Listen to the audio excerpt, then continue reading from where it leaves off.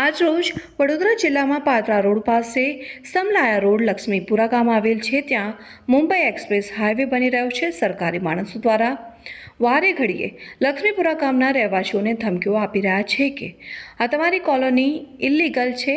જ્યારે ગામ લોકોને આ જમીન ઓગણીસો બાણુંથી સંપાદિત કરવામાં આવેલ હતી. હવે સરકારી માણસો દ્વારા તે લોકોને ખાલી કરવા અને તેમને લોકોને એક રૂપિયો પણ નહીં મળે, અહીંથી ખાલી કરીને જતા રહો તેવી ધાક ધમકીઓ આપી રહ્યા છે, જે કારણે લક્ષ્મીપુરા ગામના લોકો ભયના માહોલમાં જીવી રહ્યા છે. ગામના લોકોમાં ભારે રોષ જોવા મળ્યો હતો. તેમનું કહેવું હતું કે આ સરકાર ગરીબી હટાવવા માંગે છે કે ગરીબોને હટાવવા માંગે છે? આ સરકાર ગરીબોની નથી માટે આજરોજ અમો કલેક્ટર ઓફિસે આવેદનપત્ર આપવા આવ્યા છે, જે અમારી સામે ન્યાયની દ્રષ્ટિથી જુએ તેવી અમારી માંગ છે.